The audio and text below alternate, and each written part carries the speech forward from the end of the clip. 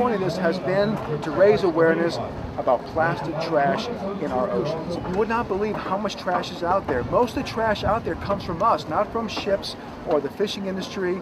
It's coming from land, washing down our watersheds. Walk out to the LA River, Ballona Creek, San Gabriel River, and look after a rainstorm.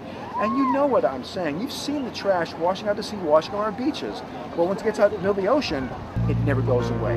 And that, our age of disposable plastics, We did it because he said we couldn't do it.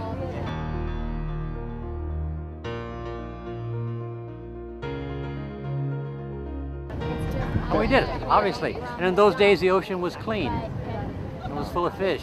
And we saw no plastic anywhere we went. I mean, how amazing. The American Chemistry Council reports 60 billion pounds of plastic was produced in the United States in 1992. 15 years later, it's now 120 billion pounds. It's extremely profitable. They've doubled production, but that, that increase sort of parallels the exponential increase in plastic trash building in our oceans. We had some good-sized storms and such. Uh, we never thought we were going to perish or anything, although people were always scared.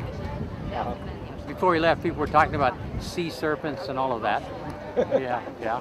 Giant, giant squid coming to get you. I think the only thing some of the guys really worried about, at one point out there we saw a submarine, a submarine periscope came up and looked.